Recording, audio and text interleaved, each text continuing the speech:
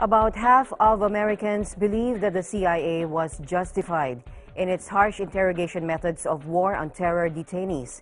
The U.S. Senate report concluded that CIA interrogation tactics were ineffective and often too brutal.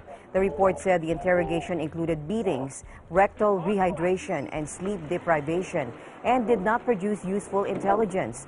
The report accused them of violating professional ethics as architects of a system that committee chair Dianne Feinstein said amounted to the torture of some CIA detainees.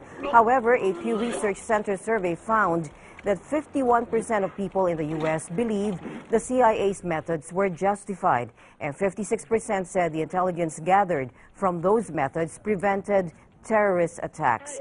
In an exclusive interview here at Net25, international law expert attorney Jeremy Gatdula suggested political bias may be behind this report, which was put together by the committee's Democratic majority. Um, medyo I think nag-overact yung ibang tao about it eh. Kasi um, isipin mo na lang kung Pilipinas yun, di ba? Tapos alam mo may mga mamamatay na mga kapwa mo Pilipino. Uh, I think gagawin mo rin kung ano yung pinagagawa ng mga Amerikano do sa mga kaaway nila. eh. Pero kasi uh, i-examine natin muna yung ano, yung, ginamit mo kasing salita na torture, eh, which is yung ginamit na salita do sa Senate report, which again has to be examined by the way. It's not a Senate report actually. It's actually a report majority report ng isang committee sa Senado ng US. Kumbaga, you have a committee there, tapos yung, yung majority ng committee na yon, mga Democrats, ang ginawa nila, gumawa sila ng report, tapos nilabas nila. Now, that report, tandaan natin, walang partisipasyon ng minority, ah, ng Republicans. In fact, gagawa nga yung Republicans ng contra-report nila against it.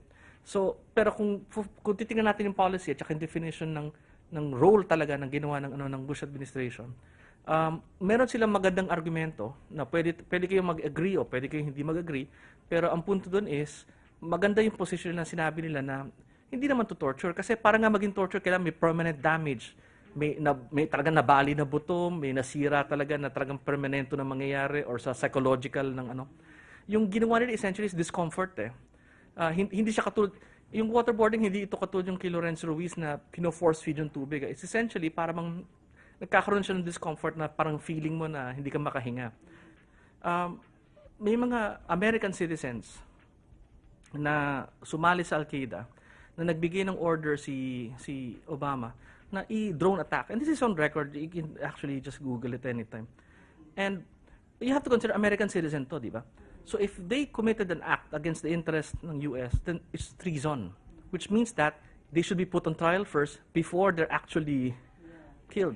In this case, hindi eh. Um, and so, ano ba mas masakit? Yung mino-waterboard ka or pinatay ka?